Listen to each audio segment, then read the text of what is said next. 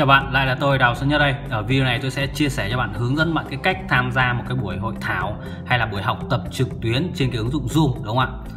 Khi mà các bạn nhận được cái đường link như thế này thì các bạn sẽ tiến hành sao chép cái đường link này cho tôi đúng không ạ? Sao chép cái đường link này. Đối với những bạn sử dụng điện thoại iPhone thì các bạn sẽ tiến hành dán cái đường link này vào cái trình duyệt Safari đúng không ạ? Đây các bạn dán vào trình duyệt Safari. Còn nếu như bạn sử dụng hệ điều hành Android tức là Samsung, những cái điện thoại sử dụng hệ điều hành Android, thì có, các bạn sẽ tiến hành dán cái đường link đấy vào Google Chrome, đúng không ạ? Các bạn có thể dán vào Google Chrome. Ở đây tôi sử dụng điện thoại iPhone nên tôi dán vào Safari. Tôi sẽ chờ nó.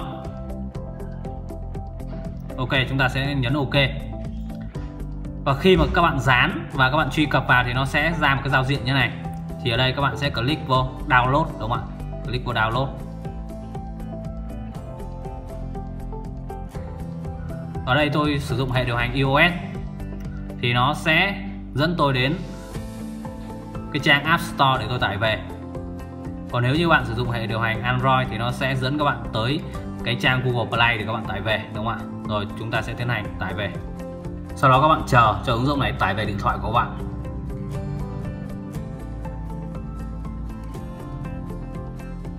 Rồi trong thời gian chờ đợi tải về thì tôi sẽ tiến hành quay lại cái trang này và tôi sẽ copy cái ID ở trong cái đường link này đúng không ạ? Rồi tôi sẽ sao chép cái đường link này.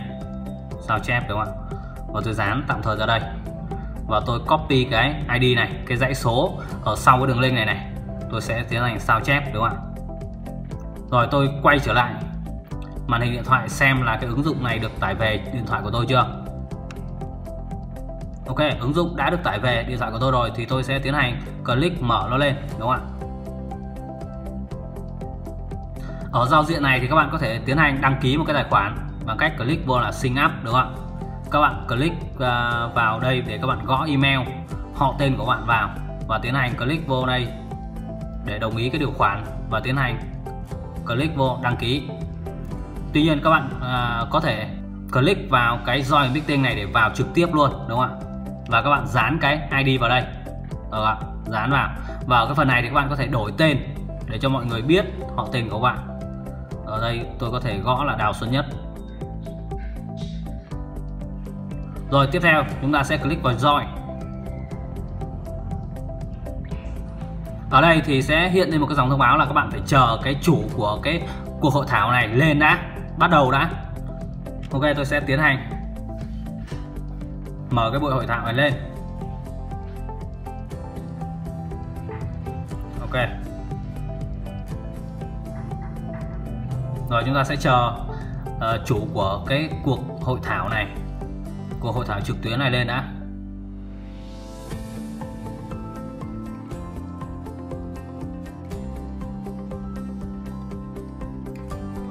Đó, như vậy là chúng ta đã vào trong cái cuộc hội thảo đây rồi. Ok.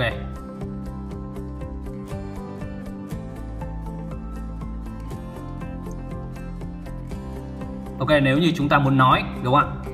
Thì chúng ta click vào cái phần micro này đúng không ạ? Micro này. Đấy chúng ta chạm chạm một chạm thì nó hiện cái phần tab này lên. Thì chúng ta muốn nói thì chúng ta click vào đây. Chúng ta muốn chia sẻ video của chúng ta đúng không ạ? Thì chúng ta click vào cái phần video này. Rồi các bạn muốn xem là những ai đang trong cái cuộc uh, ờ, cuộc hội thảo này thì các bạn click vào cái phần người này. Rồi ở cái phần dấu ba chấm này đúng không ạ? Thì các bạn có thể click vào đây để chat đấy có thể chat với mọi người ở đây. Đúng không ạ? Các bạn gửi đây các bạn chat. Nó vô cùng dễ dàng đúng không ạ? Và chúng ta muốn thoát ra thì chúng ta ấn vào đây để thoát. Như vậy là tôi đã chia sẻ cho bạn hướng dẫn bạn cái cách làm thế nào để chúng ta có thể tham gia một cái cuộc hội thảo, một cái buổi học tập trực tuyến trên ứng dụng Zoom rồi. Xin chào và hẹn gặp lại các bạn, chúc bạn thành công.